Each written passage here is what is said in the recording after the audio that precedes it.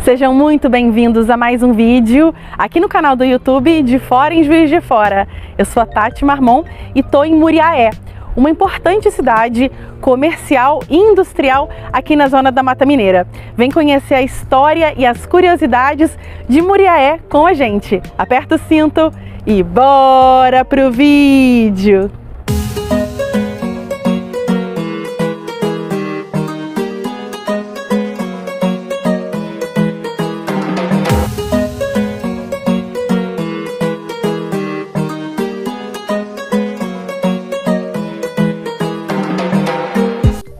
Muriaé é uma cidade da Zona da Mata de Minas Gerais. Ela fica a cerca de 150 quilômetros de Juiz de Fora e a 320 quilômetros de Belo Horizonte.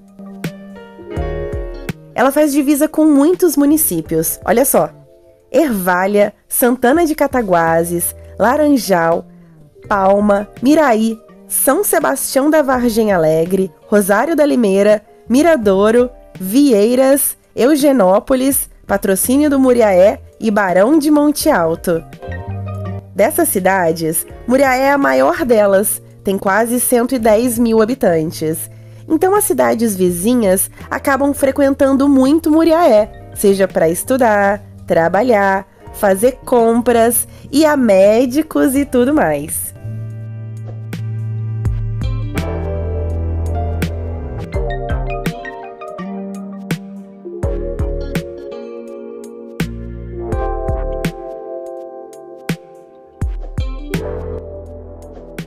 O nome da cidade, Muriaé, é uma referência ao rio Muriaé, que passa pela cidade.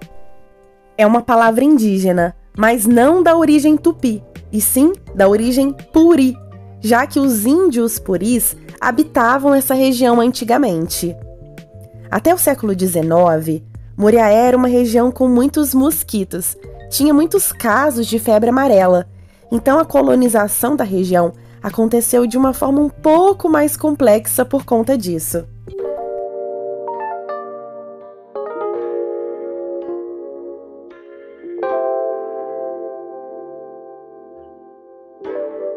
O comércio de Muriaé, como vocês estão podendo observar, é muito forte e isso vem desde o seu passado.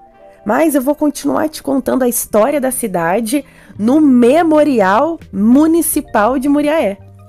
Ele funciona nesse lindo prédio do Paço Municipal. É formado por um acervo histórico relacionado à história da cidade e da imprensa da cidade. Tudo começou com o comércio dos brancos com os índios. Depois, com a galera que comercializava ervas, produtos medicinais, madeira, e um dos comerciantes pioneiros que desbravou Muriaé foi o Constantino José Pinto. Ele se instalou numa região conhecida como Largo do Rosário, e ali nascia um povoado chamado São Paulo do Manuel Burgo. Muriaé também chegou a se chamar São Paulo do Muriaé. Aliás, São Paulo é um nome que você vai ver muito em Muriaé porque é o padroeiro da cidade. Ela se tornou de fato um município em 1855. O Memorial Municipal de Muriaé fica localizado na Praça Coronel Pacheco de Medeiros. A entrada é gratuita e ele fica aberto até às 17 horas. Muriaé foi uma grande produtora de café até o final do século XIX e começo do século XX. Mas a cidade se desenvolveu mesmo quando foi inaugurada a Estrada de Ferro Leopoldina, porque ela facilitava o transporte do café de Muriaé até o Rio de Janeiro que na época era a capital do país. Olha aí o Teatro Municipal de Muriaé, que coisa mais linda. Eu tô aqui no centro da cidade te contando essa história. E outra fase boa de crescimento da cidade foi na era Vargas, com a abertura da estrada Rio-Bahia, a BR-116. Porque para ir para Bahia, para o Espírito Santo, Saindo do Rio e de Minas, você passa por Muriaé. Você já passou por Muriaé indo para o Espírito Santo ou para Bahia? Me conta aqui nos comentários. Muita gente passa por aqui. O fluxo de veículos é muito alto. Então a cidade também foi se desenvolvendo no ramo da mecânica automotiva. Tanto é que tem muitas mecânicas e serviços automotivos na entrada da cidade. Porque aí, se você estiver viajando e der um problema no carro, Muriaé é uma boa parada.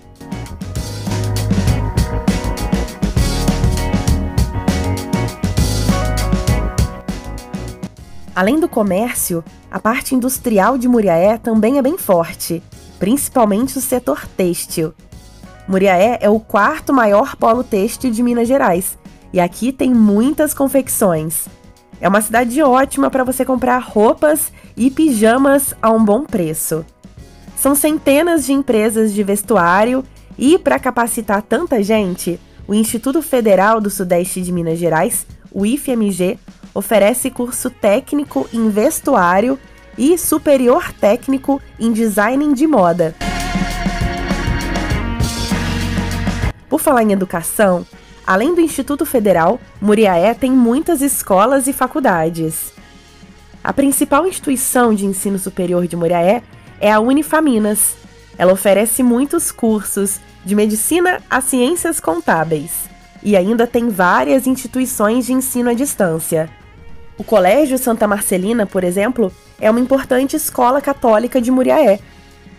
O Instituto Internacional das Irmãs de Santa Marcelina também são responsáveis pela FASME, que é a Faculdade de Filosofia, Ciências e Letras Santa Marcelina.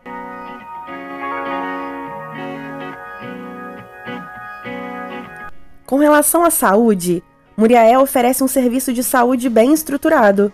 Ela conta com vários centros médicos e hospitais, como o Hospital São Paulo, mantido pela Casa de Caridade de Muriaé, tem a Casa de Saúde Santa Lúcia de Muriaé, o Prontocor, que é um hospital do coração, e a Fundação Cristiano Varela, que é um hospital do câncer referência na região. E esse é o Cristo Redentor de Muriaé. E ele não fica num simples mirante. Ele é um super ponto de visitação para quando você estiver aqui na cidade. O Monumento do Cristo tem 30 metros de altura. O autor do monumento é o artista Genésio Moura, o mesmo que fez a escultura do Menino da Porteira lá em Ouro Fino.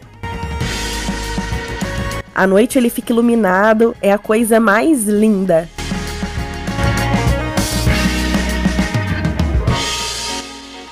Algumas curiosidades sobre esse Cristo é que ele foi um presente de um político da cidade, o José Brás, para a esposa dele, quando eles completaram 69 anos de casados.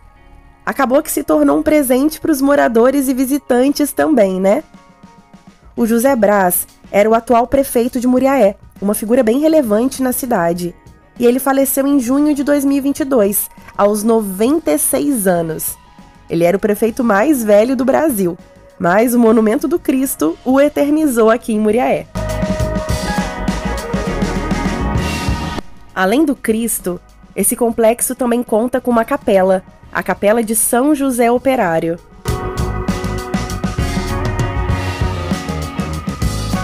Também tem bares para você se refrescar, bater aquele papo gostoso e tem espaço para as crianças brincarem também.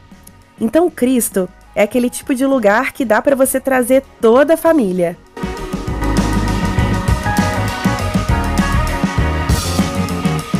Chegar até o Cristo é muito fácil.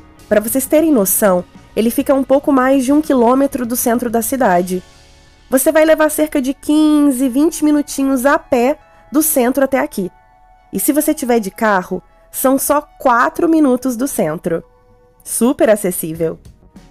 A entrada também é acessível, já que é gratuita. O Cristo funciona de domingo a domingo, das 8 da manhã às 11 da noite. Daqui você tem uma vista muito bonita de Muriaé. E quem tá lá embaixo também enxerga o Cristo com muita facilidade, abraçando e abençoando a cidade.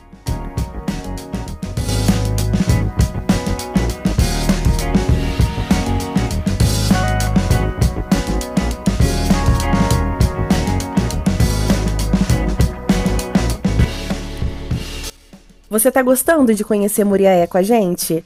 Então eu te convido a curtir esse vídeo, a se inscrever no canal e a ativar o sininho de notificações para ser avisado do lançamento de novos vídeos. Toda semana sai vídeos novos. Além de ativar o sininho, também é importante que você interaja com o nosso conteúdo. Então não deixa de curtir, de compartilhar e de comentar nos nossos vídeos. Quanto mais interação, melhor e mais chances do conteúdo chegar para você. Comenta aqui embaixo. Eu amo Muriaé. Ou então me conta o que você está achando de conhecer a cidade e se você já conhecia Muriaé. Você também pode se tornar membro do canal e fazer parte da nossa família. Sendo membro, você apoia o nosso trabalho, ajuda no combustível, algo que está sendo super importante mais do que nunca, e vai ter o seu nome dito no final de cada vídeo como um agradecimento. Sua foto também vai aparecer na página principal do canal. Você também pode fazer uma doação simbólica para o canal por meio do botão Valeu!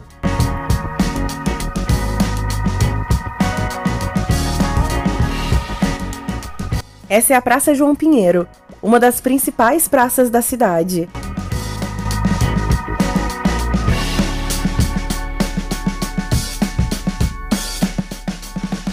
Ela é ponto de encontro de moradores e vários eventos de Muriaé acontecem aqui. Muitos deles naquela esfera ali, que é um coreto super diferentão. Ali funciona o Espaço Cultural Popular e abriga vários eventos culturais de Muriaé.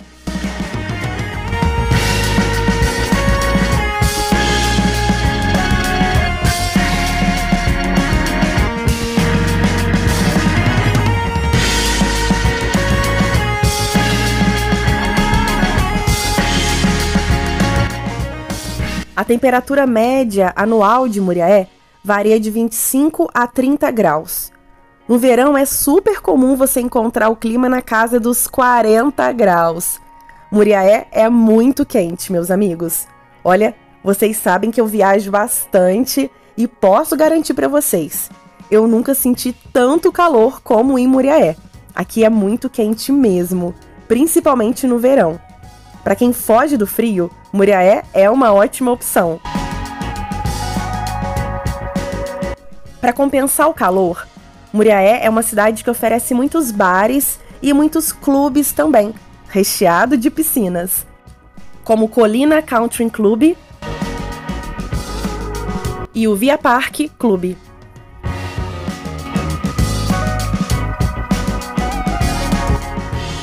Por falar em clube, Muriaé tem dois principais times de futebol: o Nacional Atlético Clube, conhecido como Nacional de Muriaé, e o Paulistano Futebol Clube. Também tem um super estádio, o Soares de Azevedo, que já existia, mas foi reconstruído recentemente ali nas margens da BR 356.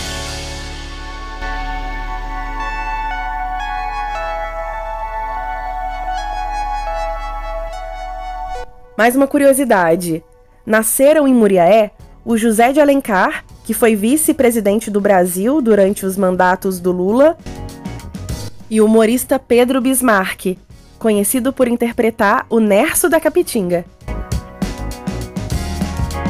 Para se alimentar em Muriaé, a sugestão é o restaurante Trairão. Eles servem um peixe bem famoso lá. Mas eu também te recomendo experimentar uma iguaria local, que é o cachorrão de Muriaé. Um cachorro quente bem grande, bem comprido e bem caprichado no recheio. Um dos mais famosos é o cachorrão do Dulé, que fica no centro da cidade.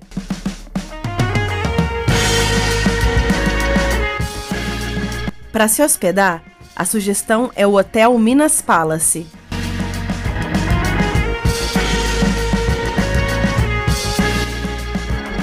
Então, o que, que vocês estão achando de conhecer Muriaé? Me conta suas impressões aqui nos comentários.